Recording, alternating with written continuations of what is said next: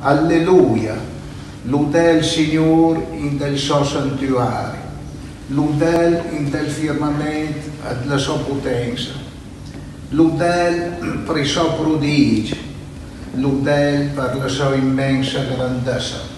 La voce ferma ma emozionata è stata una domenica che non dimenticherà mai il piacentino Luigi Zuccheri, 78enne pensionato di Alseno, ricevuto ieri in udienza privata da Papa Francesco in Vaticano e poi addirittura citato all'Angelus dalla finestra che affaccia su Piazza San Pietro. Il pontefice è infatti rimasto molto colpito dal lavoro del fedele piacentino che ha tradotto la Bibbia trascritta a mano in dialetto piacentino e che ha consegnato nelle mani del Santo Padre il suo manoscritto.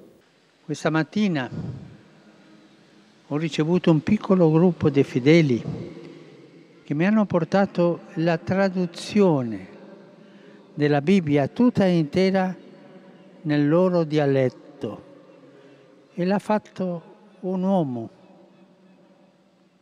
Otto anni di lavoro, scritta, sono otto volumi tutto in dialetto e lui che era presente mi diceva che leggeva, pregava e traduceva.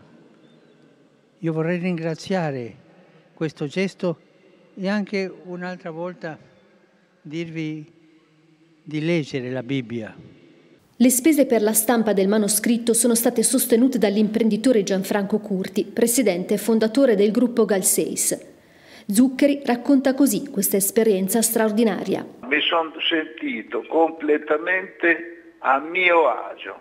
Il Papa era proprio come se l'avessi visto come un amico proprio. Quando è entrato avevo, come tutti gli altri, la mascherina e mi ha detto si tolga la mascherina così mi sembra un brigante.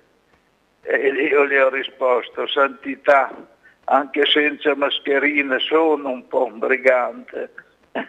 e quindi ho fatto un sorriso e poi quando le ho letto il Salmo, l'ho letto in modo che non avevo mai letto in vita mia così bene